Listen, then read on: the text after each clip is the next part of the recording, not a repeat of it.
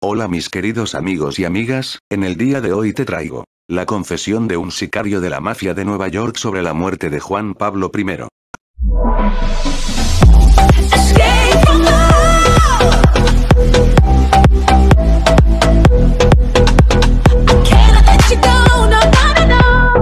Albino Luciani, fue sumo pontífice apenas 33 días.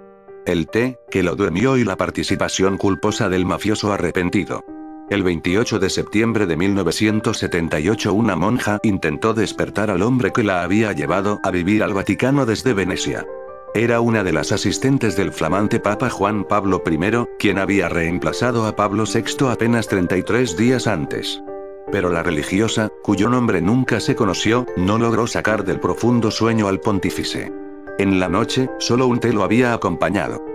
Ambos, en esas tempranas horas de la mañana, ya estaban fríos. La noticia recorrió y conmovió al mundo, sobre todo católico, que apenas salía del luto por el final del anterior papado. Y las sospechas sobre un asesinato comenzaron a recaer sobre los herméticos pasillos de San Pedro.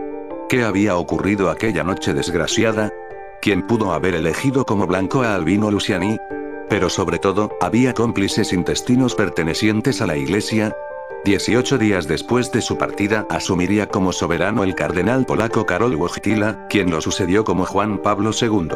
Fue el verano de los tres papas. Pero las intrigas en torno a la muerte de Luciani no cesaron nunca. Hasta nuestros días.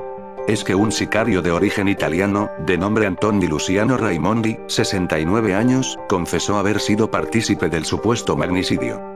Lo reveló en un reciente libro llamado Buen de Bulletins de Bone, cuando la bala golpea el hueso, en el cual explica cómo fue aquella larga noche y las anteriores en las que estudió cada uno de los pasos del jefe de la Iglesia Católica en Roma. De acuerdo a una entrevista dada por Raimondi al diario The New York Post, todo comenzó cuando fue convocado a una reunión secreta por su primo, el cardenal Paul Casimir Marcinkus.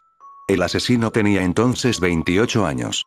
De origen norteamericano, el alto sacerdote fue quien dirigía entonces el Instituto para las Obras de Religión, más conocido como Banco Vaticano. Tenía bajo su control miles de millones de dólares entre 1971 y 1988. Un verdadero poder dentro del poder. De acuerdo al relato de quien fuera sobrino del padrino Lucky Luciano, el asesino tuvo acceso a los muros del diminuto estado gracias al cardenal banquero. Allí, estudió cada uno de los repetidos pasos y rutinas del sumo pontífice, quien representaba una amenaza para las finanzas de la institución dirigida por Marcinkus. Estaba parado en el pasillo fuera de las dependencias del Papa cuando se sirvió el té, escribió en el libro Raimondi. En las páginas de su obra también cuenta que la cantidad de Valium que pusieron en su infusión fue tanta que la víctima no se habría movido incluso si hubiera habido un terremoto. La tasa fue llevada, siempre según el hombre, por el mismísimo Marcinkus. Durante largo tiempo, el sicario de Luciani fue el encargado de la inteligencia sobre sus movimientos, y de cómo sería la mejor forma de terminar con su vida. Pero por temor a acabar en el infierno, no quiso estar allí cuando colocaran el cianuro mortal en la boca del papa inconsciente. Había hecho muchas cosas en mi tiempo, pero no quería estar allí en la habitación cuando mataron al papa. Sabía que eso me compraría un boleto de ida al infierno. El encargado de colocar con un cuentagotas el cianuro en la boca de Juan Pablo I, según narró, fue su primo. Cuando terminó de hacer su trabajo, cerró la puerta detrás de él y se fue.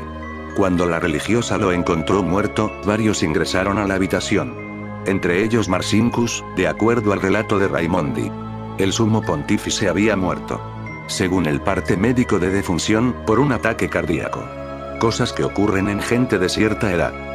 Tenía 65 años. El ahora escritor y ex sicario contó que Luciani había sido elegido como blanco porque estaba decidido a exponer ante el público los escándalos financieros que salpicaban al Banco Vaticano y ensuciaban a la Iglesia. Quería purificarlo de una vez por todas. No llegó a hacerlo. El verdugo cree que aún hoy los restos del veneno inoculado en el cuerpo del Papa podría aparecer. Y cuenta una, otra, infidencia. Los autores intelectuales del supuesto crimen de Juan Pablo I también tenían planeado terminar con la vida de su sucesor, Juan Pablo II. Lo consideraban una amenaza. Pero él no quiso ser parte de un segundo magnicidio en la ciudad amurallada. ¿Qué van a hacer? ¿Matar a todos los papas? Cuenta que les preguntó en su momento. Lo cierto es que Wojtyla se convirtió en uno de los pontífices más longevos de la historia. De acuerdo a Raimonid no quiso enfrentarse con las irregularidades del Banco Vaticano porque sabía que moriría. Lo combatió de otra forma. El particular relato del autor de Wende Bulletich de Bonne recuerda a la icónica escena de la película El Padrino III, cuando el papa que logra confesar a Michael Corleone, el jefe de la mafia en Nueva York y Nevada en la piel de Al Pacino, es también asesinado en circunstancias similares. Su nombre de ficción era Cardenal Lamberto en lugar de Luciani y su papel fue interpretado por Raffaele Bayone, actor, productor y director italiano. Lamberto, una vez papa, también toma el infame té. Nada se dice sobre el cianuro, aunque sí hay implicancias financieras de por medio. Raimondi padece cáncer y dice no estar en prisión gracias a los millonarios sobornos que debió pagar durante toda su vida. Ahora, decidió contar todos sus secretos. Teme llevárselos a la tumba y no tener tiempo de arrepentirse.